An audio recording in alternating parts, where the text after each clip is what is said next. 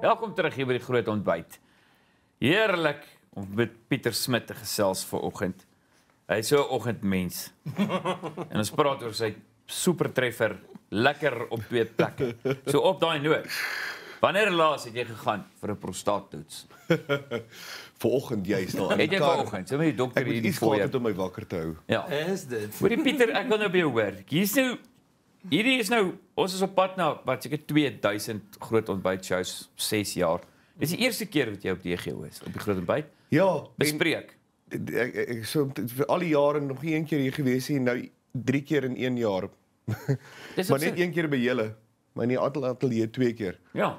Maar dit is so vreemd. Ek weet nie hoe werk dit nie. Het jy het jy niks liedjies geskryf vir die laaste 6 Nee, ek het maar dit was nie Ons het jy dalk nie nie noemenswaardig geweest nie. Ja, ek kan nie glo nie, maar dit was van vir my skok en so ek het toe besef maar ek het so 'n standaard en ek en jy ken mekaar nou jare. Maar ek weet nie waar jy gebore nie. Ja, Potch. So jy's Potch born and bred. Ja. Ek weet jy's 'n Potcher, maar ek weet nie jy's maar gebore hoor. Ja, my ma bly nog steeds daar. Sy het nou uit dieselfde huis uitgetrek na amper 50 jaar. Ja, en 'n uh, kleiner plekkie toe ingetrek en sulke dinge. So ja, ons is almal ons hele lot het daar groot So geword. daar groot geword, alles deur dieselfde huis. Ja. Kan identifiseer met jou. Ja. Moot. Hoe jy ook. Mm, wel, nie in Potch nie, maar my pa het ook so lank in huis gebly. Ja, Ja, Moot in van Pretoria. Potchman. Moet man. Hartseer storie om daar uit te kom. So nou, so kyk ons weet waar dit begin met die FHK goed jare jare terug. Ons gaan net 'n bietjie daaroor gesels, maar waar dit voor dit begin.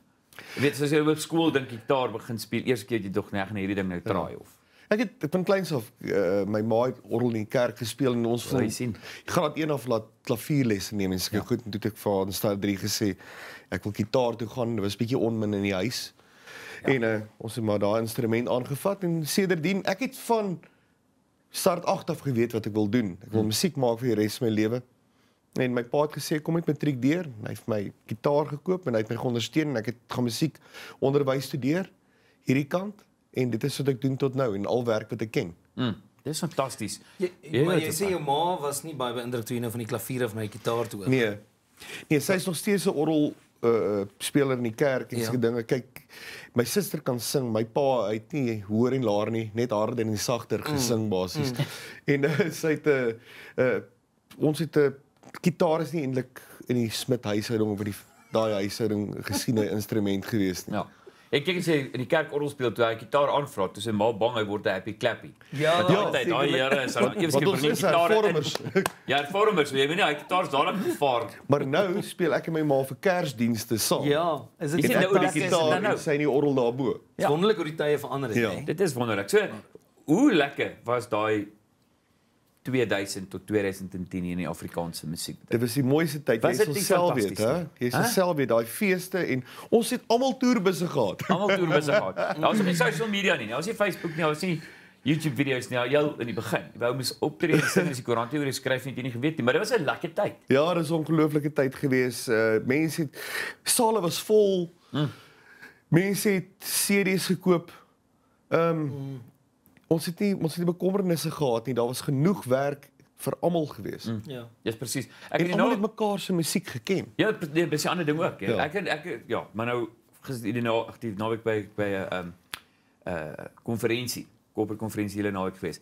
En nou sê ek nie meer jy's nou die jy's nou hier maandag, nê. En en dan onmiddellik gaan nou easy, daai tyd was daar focus en dit en ons was daar by die hy gaan dadelik na memory toe. Um van daai van daai kyk praat nou net. Jy sien nie bemarking want hulle is nou nie meer daar nie. Maar die shows wat jy het soveel mense getrek. Dit was dit was ongelooflik en jy het daai era begin. Jy weet, ek dink enigste staan nou was Johannes Kerkrol wat al hierdie berge nog so blou gedoen het. En kyk daarna toe klim ons op die wagon. En en sing die ou goed, maar jy het hom raak geboor daai era met met hierdie ou goed wat die ouens so nostalgies gemaak het. Daai ja. daai weet jy interessant was daai gewees hoe baie mense hier daar gesien voor jou wat nou getroud is en hulle kinders is al omtrent so Ja, jy het hulle gesien hier presies. voor by mekaar uitkom waar die man die girl opchat net die voor jou en dan is hulle later getroud. Dit was 'n ongelooflike tyd gewees. Ehm um, uh ek het ek en ek het voor dit ek en Johan Brimmer wat Fat Man is. Ons het 'n band gehad voor dit. Kan jy glo? Seker so 5 jaar lank.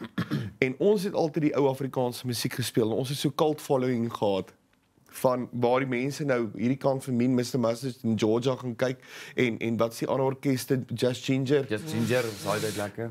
het ons so klein groepie Afrikaanse mense gehad wat FHK liedjies wou hoor in Silverton. Mm. En by die oorde en sulke dinge en daai goeders is maar so oorgewaai en toe hy later het hy bietjie hy het nie eh, so baie meer begin sing en sulke goed nie en my fokus was om aan te gaan en toe het ek uh, uh, net gesê ek gaan aan met hierdie Afrikaanse vibe want ek's lief daarvoor. Hmm. Ja. Dis nie net daar daar nie. Ek ken elke liedjie wat ek gesing het uit my kop uit. Ek het dit nie gaan leer nie. Hmm. Maar Pieter sien jy jouself meer as 'n vermaaklikheidskunstenaar of as 'n sanger dan? Wel, ek kry meer komplimente vir vermaak as vir sangvermoë, so ek moet bereken ek is nou meer in daai rigting in. Nee, maar daar, is tog 'n groot verskil, jy weet. Ehm um, baie ouens kan staan en hulle het pragtige stemme en en en, maar hulle het net nie daai touch kan 'n mens amper sê om 'n gehoor te vat en te sê, weet jy wat, kom sing saam met my. Kom kom ons doen dit saam. Ja. En ek dink dis wat julle wat jy fantasties goed reg kry. Jy weet om vir mense te sê, weet jy wat, ek vat jou amper op 'n journey. Ja. En kom doen dit saam met my. Ja, nostalgie speel 'n baie groot ding in my in my tipe konserte. Mm. Mm. So as jy nou so terugdink, jy want ek wou jou terugvat. Hoogtepunte. Wat was vir jou daai wat wat het vir jou uitgestaan? Ja, nee, ek dink daai oorsese toere. Mm. Uh al die toere Engeland, Kanada, Australië, Dubai.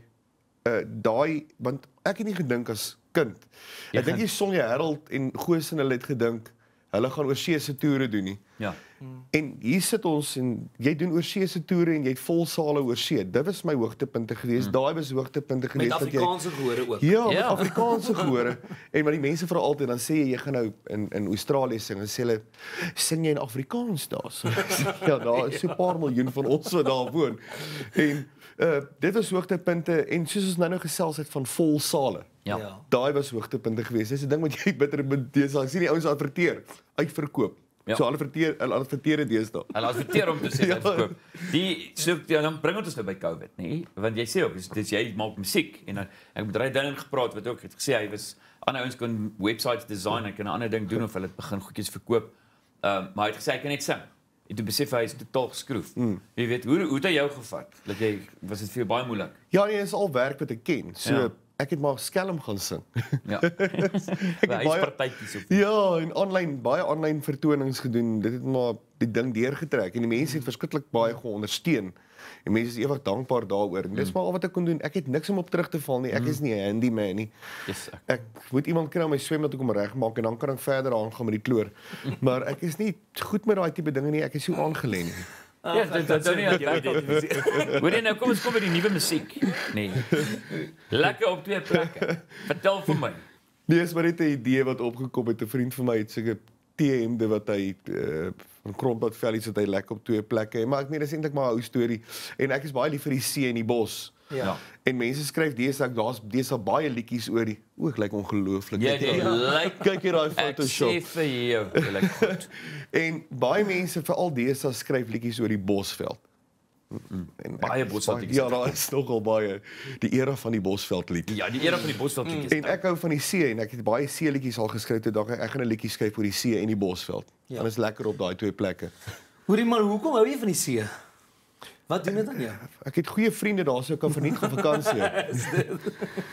en ek kan visvang, is baie lief vir visvang. Ja. En dan nou as jy nou praat van die nuwe musiek, is 'n nuwe nuwe song en so aan, maar maar jy weet, werk jy nou ook digitaal aan 'n album? Neem een een een op tot dit eventually daar's nou 13 liedjies. Maar niemand doen meer CD's nie. Ek hoor Ja, ek weet nie wie koop nou. Dis maar die way to go daai wat jy nou gesê het. Om neem 'n liedjie op laat hy so 'n bietjie gaan, bring jy nog een uit en en dan dis beter om drie liedjies se jaar te doen met drie musiekvideo's as wat dit is om 'n album uit te bring met 12 liedjies waarin die mense op die einde van die dag net na drie luister en jy maak een musiekvideo. Mm. So dit is maar lyk like my die trend. Dit kom en dit kos 'n klomp geld, né? Ja, dit kos om baie geld. volledige album te maak. Ja. En het uh, het die shows weer opgeneem, normale shows. Mm. Ek sien die ouens oral. Hulle sê en weer eens die naweek. Ek praat met mense wat nou um, van Bloem reg oor die land was mense daar. Jy weet hulle sal daar ook sê, "Ja, hier in Bloemfontein is 'n nuwe venue en hulle het nou al die en die en die gaan kyk en volgende naweek gaan kyk hulle die." Ehm um, daar sê die opgewondenheid wat ek dan besef, jy weet die die die mense die die wel buite was was uit is uitgehonger. Ja ja. shows. Ja nee, hulle die die bywoning is baie goed mm. by die konserte. Hulle is net skepties om nog so baie te bespreek oor Desember maand. Ek Ja, sukkel nog met daai een. Ja, hulle is bang en ek meen ons het verlede jaar gesit in in Plettenberg baie een van my groot vriende woon daar so en dan is ons altyd Kersfees by hulle. En ek het toe het ek al een vertoning al gedoen daar by Mel se plek. Mm. En toe het ek nog so vyf wat wag. Mm. En toe moes ons terugkom na een vertoning. Dis verby. So die Kaap gaan my nou nie sien hierdie Desember vertoer nie. Ek sal maar hierdie kant speel. Dis die ding, ja, net want dit het so vinnig weet nie wat om te verwag nie, ja. Wie is hierdie vriend by die see? Jy kan nie ook gaan nie. Miskien ken ek hom. David is sy naam. Hulle het 'n P daar, ons het saam pots groot geword. Oh, okay, lekker. Ja, Jy hou van visvang. Ja, baie lief daarvoor. Van 'n dam, rivier of diepsee enigiets. Meer seevisvang. Mm. Uh ja, ek hou van damvisvang en van kleins af dam en riviervis gevang maar ek's maar baie liewer vir seevisvang, diepsee, van die rotse af, van die strand af. Ja. Lekker. Ons het 'n gemeenskaplike vriend. Was jy al saam met Hendrik in die see in? O ja. Sy boot. Jy sien nuwe boot gesien. Hy het my gebou het. foto's gestuur. Lieflik hoor.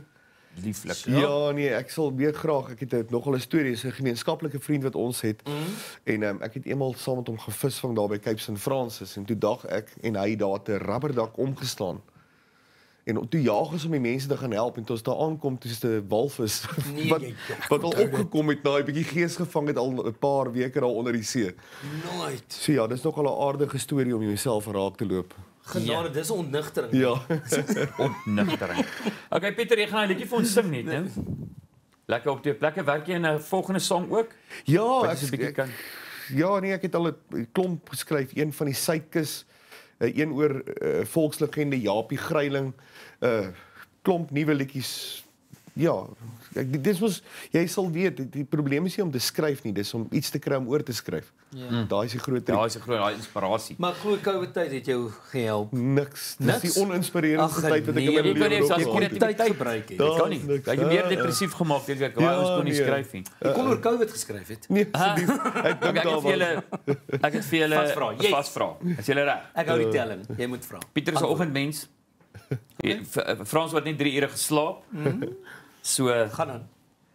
watter jaar was die eerste Wimbledon? Nee, ek weet nie. 1914.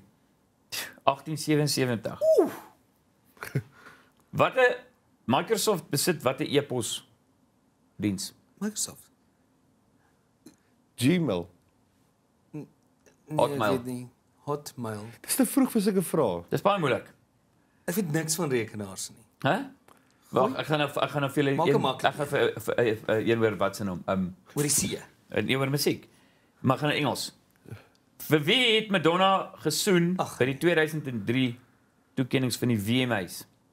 Dit was 'n dit was 'n ander sangeres Uh, geweest. Britney Spears. Britney Spears, dis reg, ja. Sy het sy het Ja. groot gegaan vir Britney Spears Ja. en Christina Aguilera. Oeh. maar Okay, laaste een. Wat is die rapper Sean Combs beter bekend voor? Eminem. Sean Combs. Nee, ek het nie idee nie. Ek ken nie daai mense nie. vir sy skoene. P Diddy is sy naam. Puff Daddy, hoe is dit die ou? P Daddy. P Diddy of sweets. P, P Daddy idee. of stamp on it. Het jy die vrae uitgedink? Dit was Het jy dit gehoor? Ja. Ja, ek het daai gehoor. Ek dink Nee, dit hy's is nog nee. rustig. stamp on it. Hoor ek sien uit dat die liedjie Pieter, dankie. Ek kan nie glo die eerste keer in 6 jaar jy by ons kom kuier nie. Baie Nou, dankie. ek gaan maar volgende week weer nooi. Ja, so jy moet 'n liedjie skryf vir die liedjies dan moet wees volgende week. Jy het een week om die volgende een te skryf. Dankie vir jou vroeg opstaan en Kan ek- kaartslapery. Kan ek die vrae opstel vir ag die uh, die die Dan vra jy my. Is Ek reg. ek is ek in. Okay, great. So bly geskakel net hierna gaan uh is nie als 'n minuut nie. Ons gaan net bietjie luister. Lekker op twee plekke.